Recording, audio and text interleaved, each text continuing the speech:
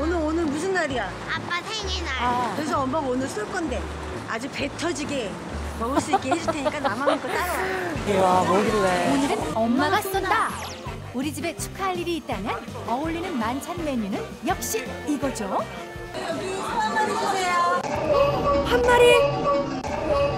다 드실 수 있겠어요? 우리 가야 걱정하지 되는 말라 그랬지. 그러니까.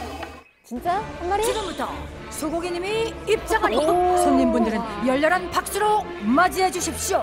이야, 그 이름부터 찬란하고 선홍빛 자태까지 아름다운 소고기. 빈틈이 그런데 없어요. 푸짐해도 너무 푸짐한 거 아니에요? 살치, 토시, 갈비, 우삼겹 총 여섯 가지, 일곱 가지인가? 종류가 굉장히 많더라고요. 사실 확인 들어갑니다.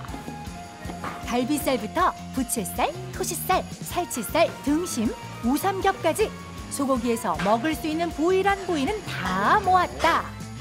아낌없이. 주는 큰손 사장님 덕분에 여섯 종의 소고기가 도합 1kg를 훌쩍 넘기는데요. 정량은 지키신 거죠? 1kg 200이요. 1.2kg. 네.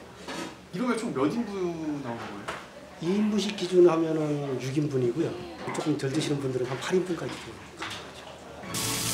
얇고 부드러운 우삼겹을 에피타이저로 즐기고요. 그 다음 기름기가 적은 토시, 부채, 갈비, 등심, 살치살 순으로 먹어야 소고기 풀코스를 제대로 즐길 수 있답니다.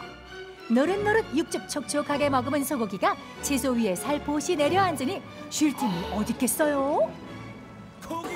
그야말로 고기 쌈매경에 빠진 손님들 여기야말로 지속 낙인인데요. 생일인 남편에게도 사랑의 한 쌈 싸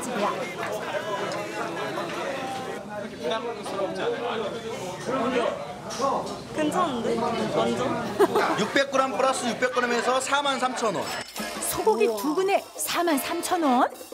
두 눈으로 보고도 믿을 수 없는 가격 실화입니까? 가격 대비 고기 양도 많고 품질도 좋고.